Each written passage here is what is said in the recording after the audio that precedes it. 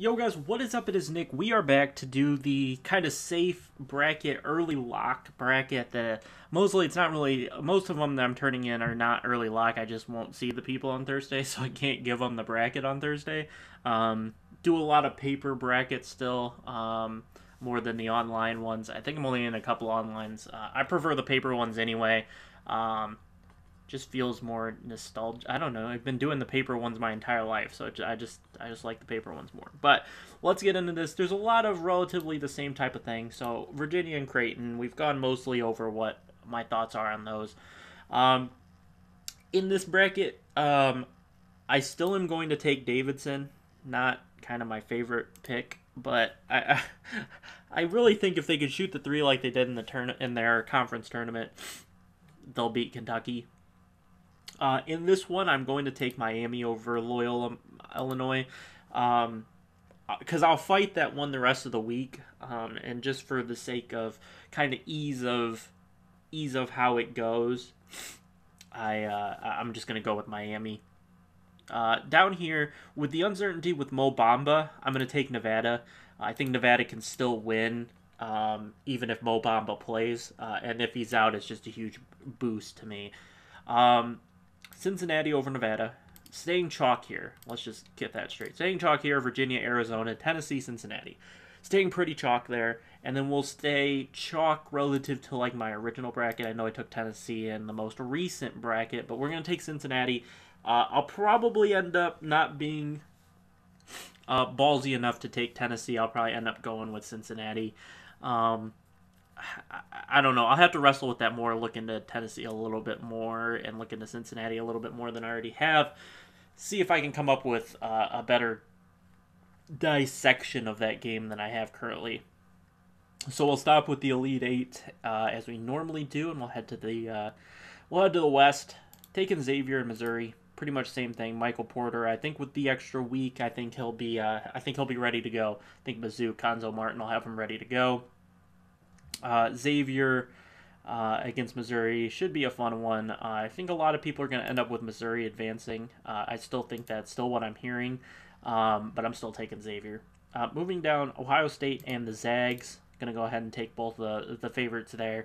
Uh, I like Ohio State then to pick up the win against the Zags and move on to the Sweet 16. I think that's a very, very, very contrarian pick from me to take Ohio State. I think Gonzaga is pretty much the chalk. And I think San Diego State is the extreme kind of. They're getting a lot of traction. Um, maybe I'm going to end up looking like an idiot with Ohio State in the Sweet 16, but I, I, I think Keita Bates Diop. Um, I just I just think Ohio State's good enough to get it done, and then I think they're good enough to beat Gonzaga.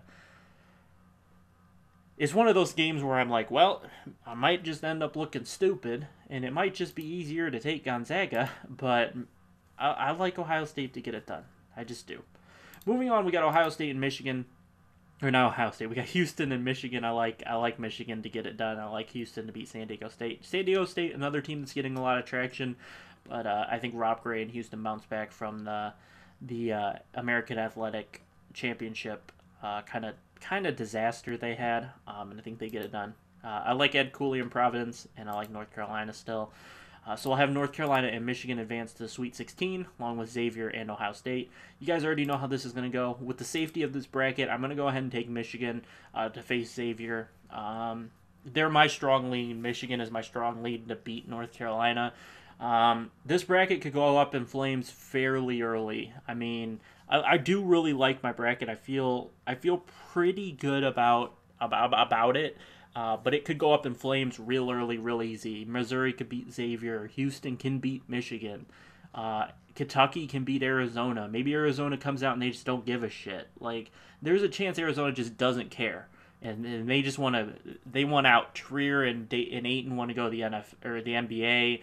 Miller wants to find a new college program. I mean, there's a chance they just want out, but uh, I'm not banking. I I feel like they've got enough pride. They want to come out here and uh, and do big things. Uh, so moving on to the East, we've got Villanova, still like still like Vatek, like West Virginia, and I like Marshall still. I like Elmore. The more and more I look at Elmore, I just I, I just see a guy who can take over a game and get it done. and uh, I believe they play. Yeah, they play the early game. So this is something that uh, I haven't talked about in any other videos. I'll probably talk about it in the in the formal Wednesday video. But the earlier these games and the later these games, early in the day, especially. Is this the Tuesday? Is this Thursday game?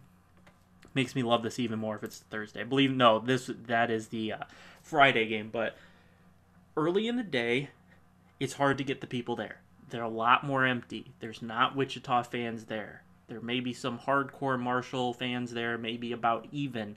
There's not a lot of neutral fans there that are just into the game. There's nothing to feed off of. Marshall, these these mid major schools are, are, are, more used to not having a large crowd backing them.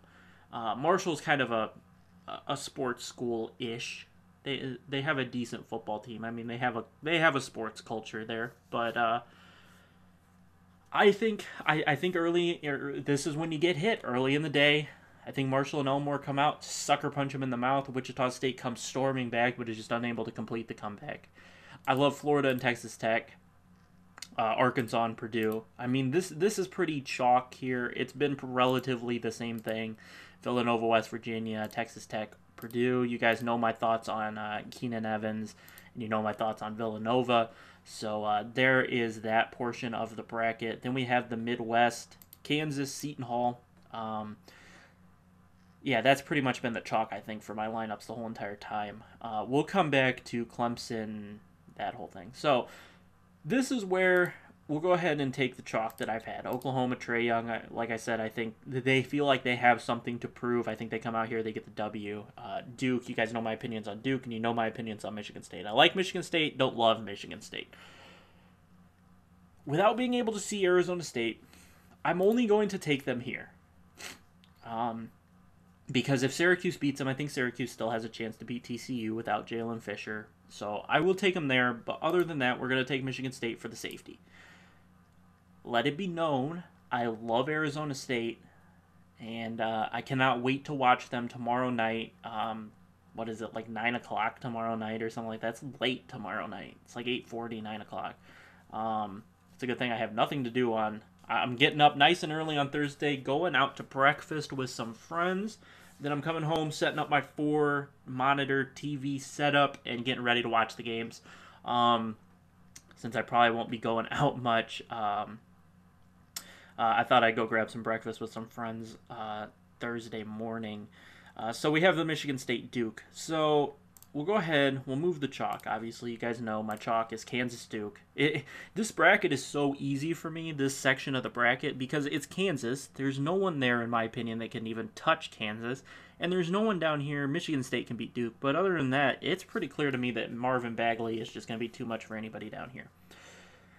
So for the purpose of safety, for the purpose of all of this, for the purpose of not exactly knowing what I want to do here yet, we're to go we're to go the kind of meh route.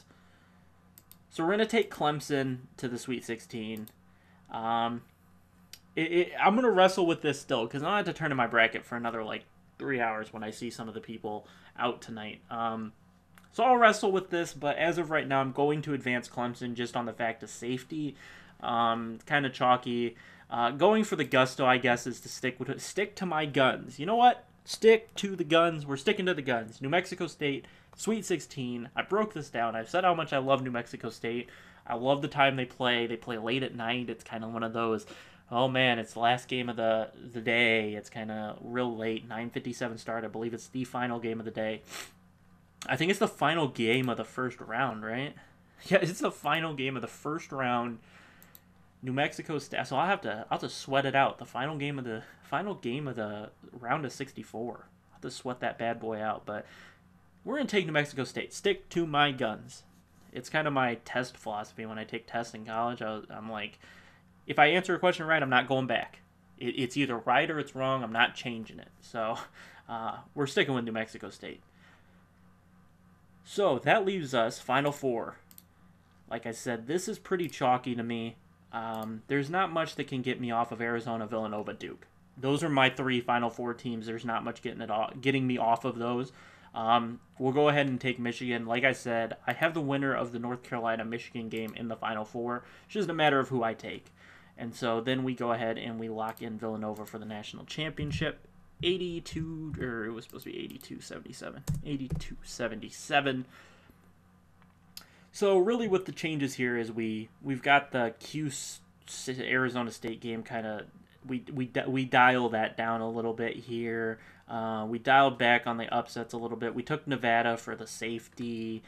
Um, but other than that, it's relatively similar to what uh, we were already doing. Um, I, I, dialed back my Tennessee love a little bit.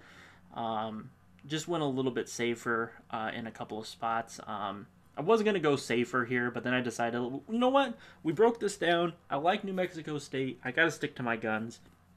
Uh, taking Auburn is probably uh, a safer pick there. Um, but uh, no one ever run, won their bracket pool be, being like, I, I, guess sometimes, I guess you do being uber safe, but the last few years you probably didn't win it being uber safe.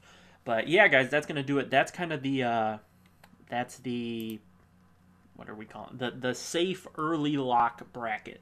So I hope you guys enjoyed. I'll be back with another bracket. Um, we still have to do the one based on betting odds for fun. We're gonna do like a random 50-50 bracket, and we still have the final updates and stuff like that. But guys, I hope you guys enjoyed. Drop a like if you did, subscribe if you haven't, and I'll catch you guys in the next video. Peace out.